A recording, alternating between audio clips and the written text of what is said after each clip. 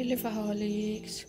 So, uh, I will just update you regarding with this uh, Hoya. This is Hoya pacherawalai or Hoya icensis. Um, this is a common to be called Hoya icensis. Pero yung name niya ngayon ay tinatawag na siyang Hoya pacherawalai. Ayan. Update ko lang kayo kasi meron na siyang blooms. Ayan yung kanyang bulaklak. Uh, meron siyang white and then merong purple na parang pastar dyan sa pinakagitna ng bulaklak niya. And then, um, ito, um, hindi siya normal kasi, tignan nyo. Diba sa gilid niya, full bloom na. And then, yung sa gitna ay meron pang um, kasunod. So, ayan, deo. So, parang abnormal siya. Hindi sabay-sabay. Ang uh, kasi, ang nangyari dyan ay yung pinakagitna niya, parang um, naglagas. So, ang ginawa niya ay may kasunod siyang panibagong buds. So, ganyan siya. Ba? Pero cute lang din siya, kakaiba kasi full bloom na yung sa gilid tapos sa gitna may another buds pa na palusot. So, mm, this is the unique characteristics of Hoya icensis kasi madidistinguish mo siya pag Hoya icensis kasi itong dahon niya, yan. Uh, as I've said sa previous ko na videos, itong Hoya icensis ay ko common siya sa kanyang characteris unique characteristics dahil sa kanyang purple margin sa kanyang dahon. So, ayan, ito hindi siya sunstress. Yan ang kanyang regular na dahon. Meron siyang purple margin. And this is the Huya blooms. Yung kanyang flowers. And then, uh, pag tingin nyo dito sa taas, ayan, um, nasa sunstress na siya. Ganyan siya. Yung mga parang pachi-pachi, ito yung epekto ng kanyang uh, ng ano, overexposure sa sunlight. Or yung, kasi ano eh, nakalagay na siya sa may um, maaraw. Pero filtered naman yung araw dito sa aking garden. So, ayan. Uh, itong hoya na to ay binigay sa akin ni Joel Calpo last December. So, ayan, meron na siyang buds, kaya mabilis siyang napabulaklak. So, tignan nyo. So, ba diba, uh, dito sa kanyang, um, ayan na, yun, parang posporo na to. Ayan, yan yung katawag niya. Ilalagay ko yung tawag sa screen nito. Ayan. Yung parang uh, posporo. ba diba, ito yung uh, malalaman mo kung ilang beses na siyang namulaklak dahil yung ito, yan o, yung parang guhit-guhit. Yan yung kung ilang beses na siya namulaklak.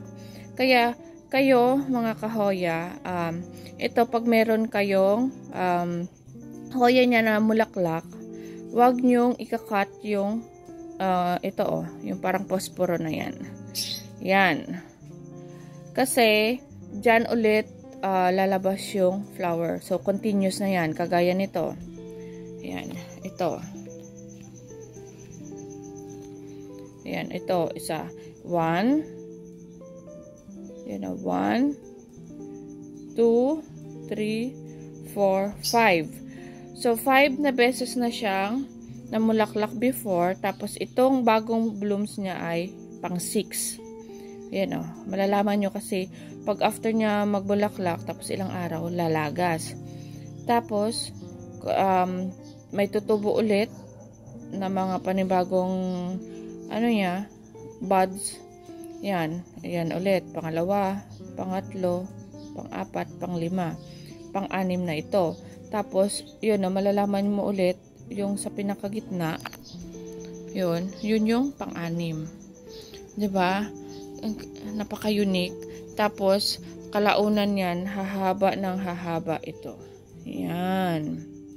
Hahaba lang siya ng hahaba. So, never cut um, yung mga peduncles na to. Yes, ayan. Ay, sorry, ito.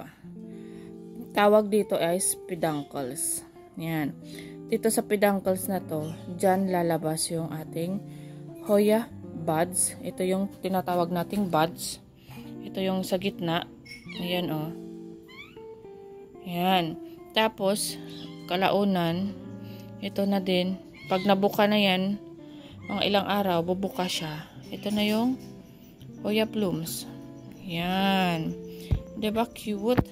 Kasi purple yung pinakagitna niya.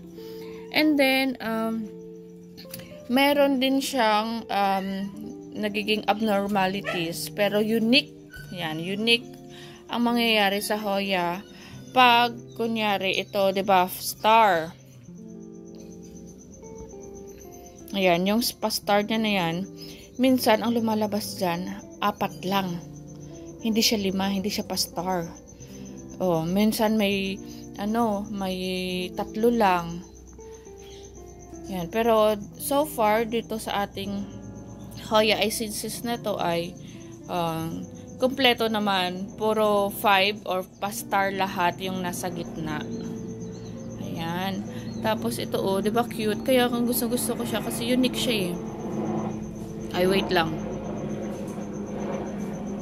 May nadaan po na eroplano.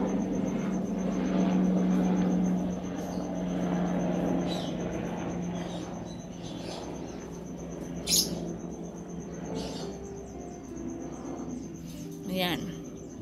So, yan oh. Kaya ko siya nagustuhan dahil sa unique niya na dahon. Yan. Sa Hoya kasi kahit hindi ka pa makapagpa-blooms, pero dahil sa unique yung dahon niya, solve ka na. Kumbaga, uh, iko-collect mo siya dahil sa unique characteristics ng kanyang mga dahon. Dahon pa lang, solved na. Tapos, very lucky ka pag napabulaklak mo sila. So, ayan siya. Oh.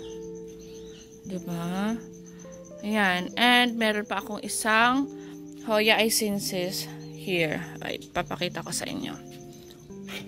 Ito, very ano na siya. Very sun stress. Ayan siya guys. Oh. Ayan. Diba? Nagbabaga ang kanyang mga dahon. Ayan. Ganyan siya. Pero, meron pa din siyang margin. Tapos, ayan o, visible yung kanyang veins. Yung kanyang maugat-ugat. Ayan o, veins niya. Ayan, yan yung kanyang epekto sa sunlight exposure. Ayan. Kumbaga, um, dahil sa ano, sunlight exposure, nagkakaroon siya ng sun stress effect. Ayan. Pero, uh, cute siya, unique siya. Ayan, pag nasa sun stress, lalo siyang gumanda sa tignan. Ayan.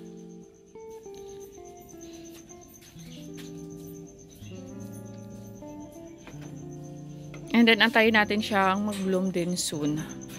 So, ayan guys. So, ito lang yung update natin sa ating blooming Hoya Pachirawalay or Hoya Icensis. Ayan siya. So, ayan guys, kung gusto niyo so, for more Hoya Blooms update, ayan, uh, gusto niyo makita lagi yung mga Hoya Blooms ko dito sa bahay, ay please, ayan, para lagi kayong ma-notify at uh, kung gusto niyo lagi kayong i-update about Hoyas, please do subscribe to my channel. I-hit nyo yung notification bell. Ilagay nyo yung nakalagay dyan na all para lagi kayong manonotify whenever I posted a new video. Ayan siya guys. Thank you and see you next time. Bye-bye!